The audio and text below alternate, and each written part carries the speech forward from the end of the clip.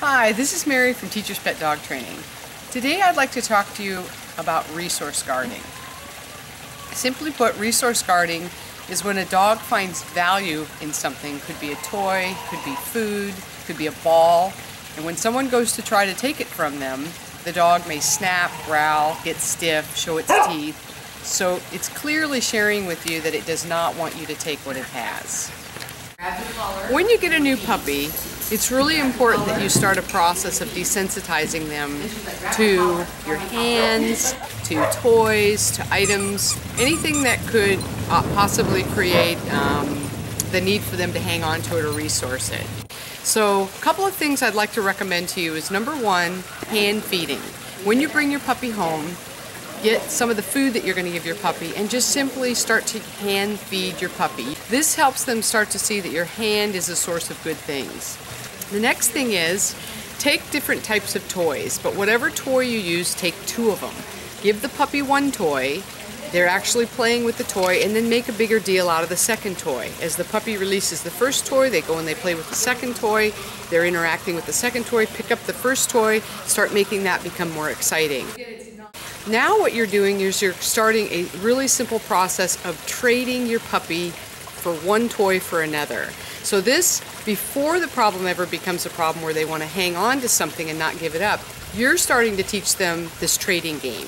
So now from the get-go, they're developing a nice solid foundation of your hand in the presence of a toy and that your hand is what's offering the items to them.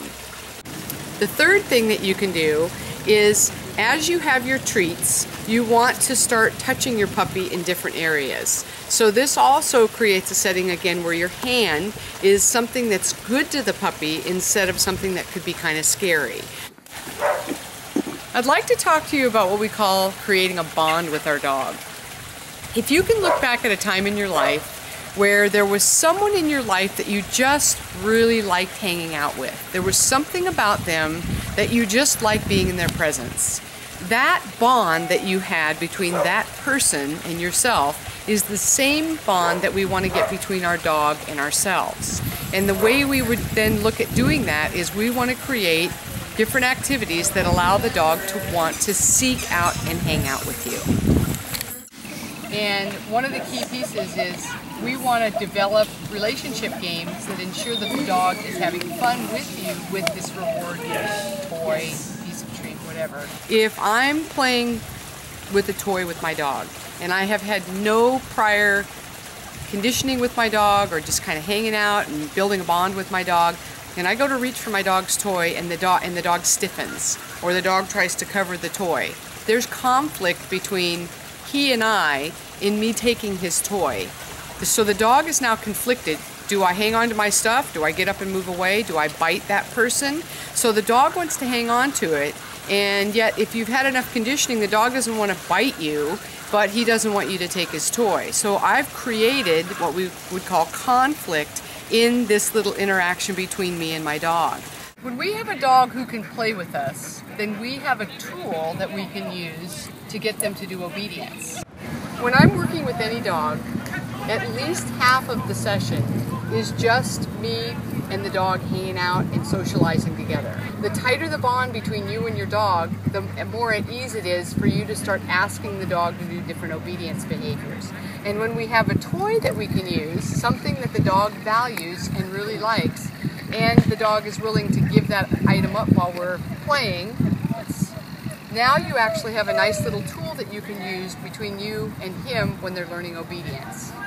When you do have a dog who's very, very toy possessive, you may have to get a lower value toy to begin with. And the other thing is make sure that you have two toys. If your dog has something, you don't go try to take it, take it from him, you exchange it. So don't wait in and try to grab it. Try to get your dog to focus on the other thing and then as soon as he focuses on the other thing, now you take the other item and then exchange it for him. So again, it's never going to be, I'm going to go in and take from you if you have a heavy resourcer. I'm going to exchange it. Then over the course of time, what we're doing right now is we can actually take the toy, associate it with your hand with good things, and now the dog can let you manipulate the toy in their presence without feeling like they have to eat the item and then grab the toy, eat the piece of food and then grab the toy. This takes time and patience and you really have to watch your dog's behavior so you don't put them over threshold. Montague really likes to hang on to the toys that he has and he's not real thrilled about giving them up. So what we're starting to do is we're starting to create an exercise where there is no conflict in giving up the item, the toy. In this case it happens to be a, an electric toy that wiggles and moves when he touches it. So what we end up doing is we give him a nice uh, high-end value treat like a piece of lamb.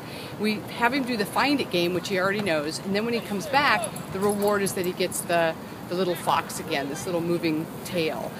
When you go to touch a toy or take something, if you get a growl or you get a stiffness or you get teeth showing, the very first thing you want to do is move the dog away from the item, make that item disappear for, for a long time, and then when now when the dog comes back, whether you're in the kitchen or in the living room or whatever, everything you do with that dog is going to be hand fed. So you want your hands to mean good things. So all their treats, all their meals, you can do a touch game. Touch, yes. Touch, yes. Everything that you give him in terms of calories is going to come from your hand. Touch, yes. So that his, your hand yes, really becomes something wonderful. Could be a shake. Yes. Could be a touch, touch. Yes, good boy. The purpose of this exercise, again, is to help desensitize Montague with what he had as a behavior where he wanted to hang on to the toy. Now we want to show him that this toy is going to be used in our training without him feeling like he has to hold on to it and not give it up. Our whole goal is that we can use that toy in our reward system when we ask him to out of the outset. Yes, we free him back into it. So again, we had to go back and recondition that emotional state of mind because he was very, very uh, savvy in terms of hanging onto his toys and not wanting to release them. Had I tried to do something like take his toy too soon, a really good way to get dog bit.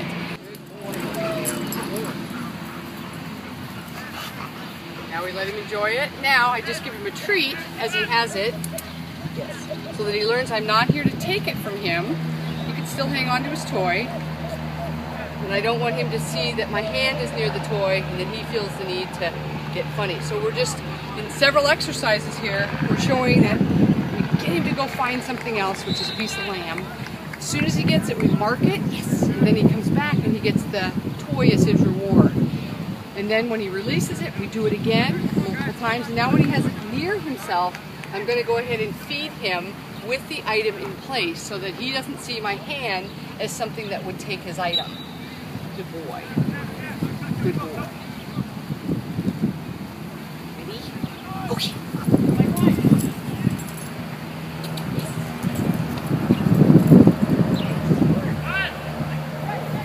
I got him to sit, which is a behavior he already knows. I fed him multiple times. As I was feeding him, I picked his toy up, so I had his toy ready to go. Once I was done with the food, I had him pause, and then I said yes, and we freed him into the to the secondary reward, which is the toy. So again, what we're doing is we're using food as a very powerful motivator to get him to do a settled behavior, like a sit, before we release him into the toy, which is a movement behavior. So you'll notice I bring that toy to life as I move it away, and that gets him to want to engage on the toy. We use the food to kind of settle him in with the sit, which opted to get him settled, we, we want to cap that energy, and then boom, we released him into the toy. Again, all without conflict of me taking a toy that he's afraid I'm not going to give it back to him. Yes. Nice. Once we know a dog has resourcing, now the next step is how do we remedy that? Our ultimate goal in the end is to simply allow the dog not to feel the need to hang on to the item that it has or not feel nervous in the presence of us being near that item. So simply put, we want a dog who can then freely give it up without the need to feel that they have to protect it. Hope these tips help. Remember, get your pup, get your dog, get to a place where your dog is just out there having fun, seeking something out or you out. Until next time, take care.